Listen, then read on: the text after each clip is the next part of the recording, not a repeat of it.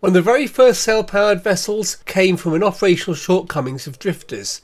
Drifters are low cost untethered buoys that float across the sea surface gathering useful environmental data such as wind, air pressure, temperature, current. The fundamental drawback of the drifting devices, however, is that they drift away from the zone of interest. The designers decided to make it more controllable by incorporating steering facilities.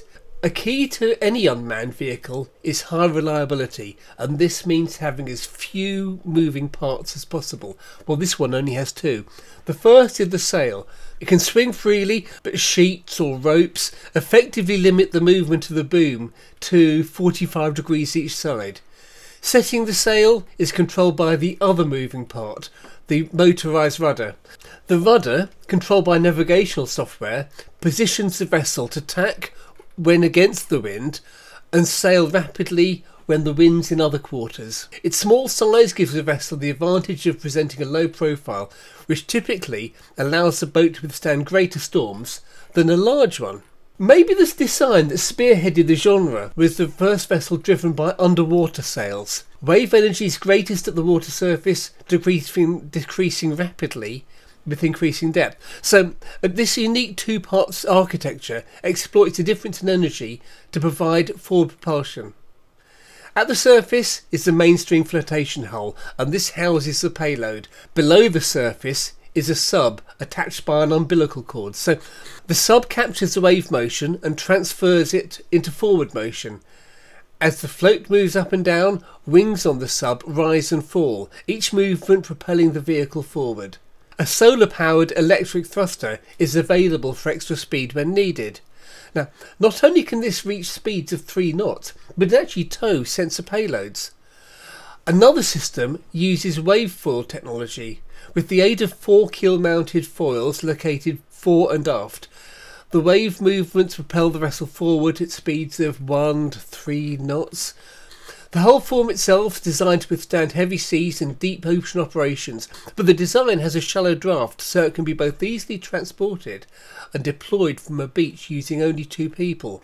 Normally, oil rigs and platforms have a zone of exclusion around them to prevent vessels colliding. These USVs are so small, however, that operators feel more comfortable with them being a lot closer to the structure than they probably would have done, so they can take uh, measurements within the footprint of, of the rig. We learned that larger motorised vessels can deploy AUVs and ROVs, but non motorised vessels can also deploy vehicles. Underwater gliders are really useful and a well established tool for sampling water column. They're easy and cheap to pilot and have an endurance of many months. The buoyancy driven vehicle works by diving in a steep curve to a given depth and then returning to the surface, carrying out profile measurements en route as required. Vertical and horizontal speeds are typically 10 to 30 centimeters a second, and this gives around makes it about two days to move 50 kilometers forward. Scientists, however, often want to deploy gliders to decapture a specific event, but getting them there under their own power could take many weeks, and in doing so, consume considerable battery life.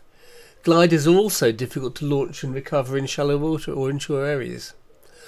Alternatively, they may want to get the glider to a specific, specific location at a given time, such as to track a spring bloom or a volcanic eruption or a hurricane arriving.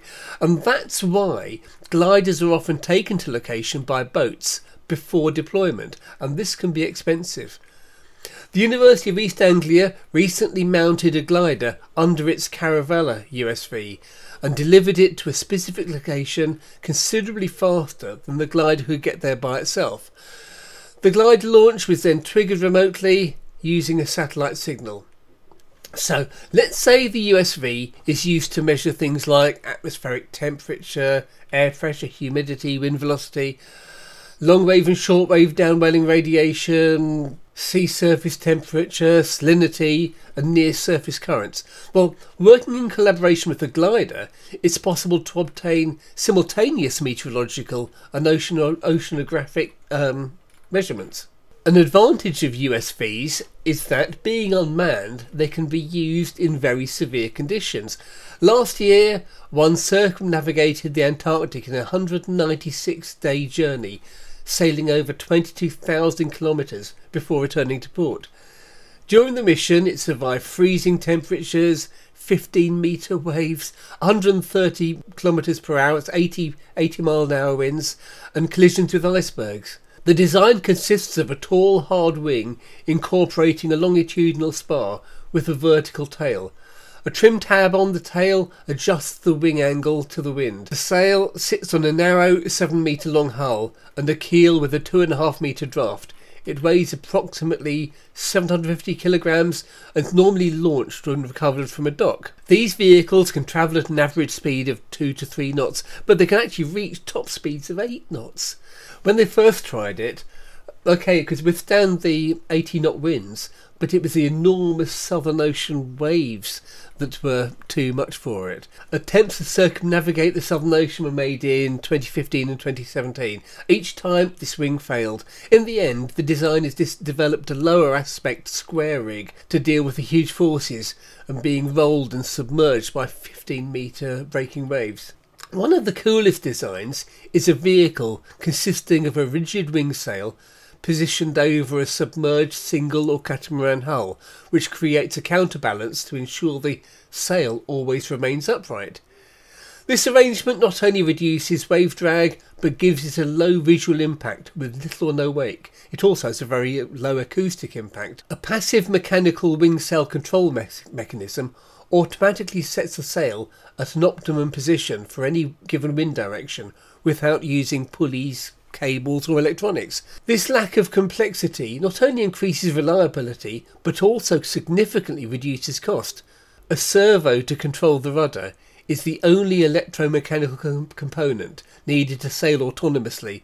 The hotel load to run the entire platform is less than a watt. All light sail vessels have the potential to be damaged in storm waves. The vehicle designers therefore decided to obviate this problem by giving the vessel the capacity to submerge to 10 metres depth. Solar panels are installed inside the transparent rigid wing sail and these provide the onboard power for the navigation and sensor electronics.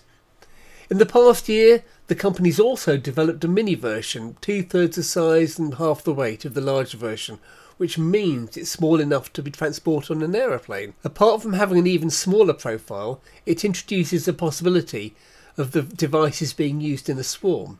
Now here's another one, but this time it's got a rigid wing sail, and this can fold down on demand to transform into a fully autonomous underwater vehicle capable of submerging to 200 metre depths.